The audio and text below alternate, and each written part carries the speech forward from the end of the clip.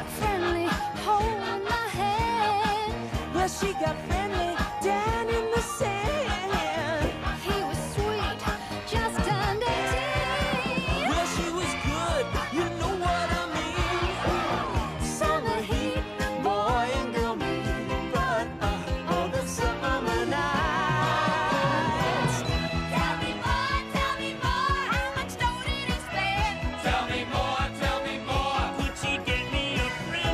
La historia de Grease se remonta a febrero de 1971, cuando Jim Jacobs, en aquel entonces periodista, y Warren Casey, profesor y disjockey, escribieron una obra que reflejaba el ambiente juvenil de los años 50.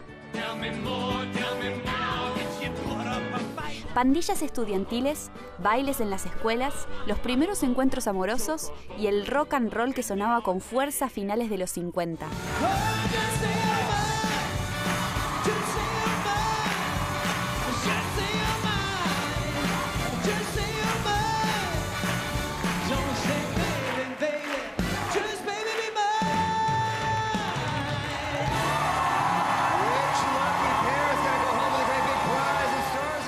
El título sugiere el estilo de vida de los jóvenes americanos de los últimos años 50 y juega con el doble significado de la palabra grease, que en inglés se refiere tanto a la cera o gomina para el pelo como a grasa, en alusión a la comida rápida que comenzó a popularizarse en los Estados Unidos en aquella época.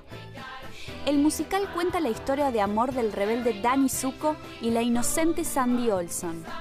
Ambos se conocen durante el verano y al despedirse ninguno de los dos piensa en volverse a ver, pero se equivocaban. Cuando ella decide matricularse en el mismo instituto que su amiga Frenchie, lo último que esperaba era convertirse en compañera de Danny, el co-líder rebelde de los T-Birds. Medio año después del estreno en Nueva York, Grease comenzó su gira por Estados Unidos y Canadá, con un joven John Travolta de 17 años en el papel de Dewey. En poco tiempo, Grease dio la vuelta al mundo. Estrellas como John Travolta, Richard Gere, Patrick Swayze, Brooke Shields, Russell Crowe o Rosie O'Donnell participaron en diferentes giras y remakes del musical, contribuyendo al éxito del mismo.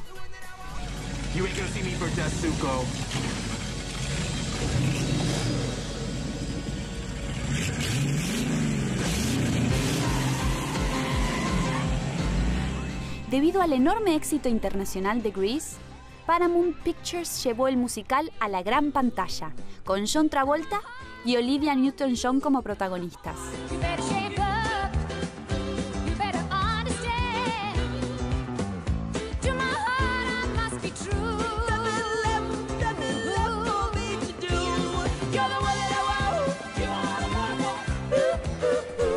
La película lanzó al estrellato a la australiana Olivia Newton-John en el papel de Sandy y consolidó la fama de John Travolta con su papel de Danny.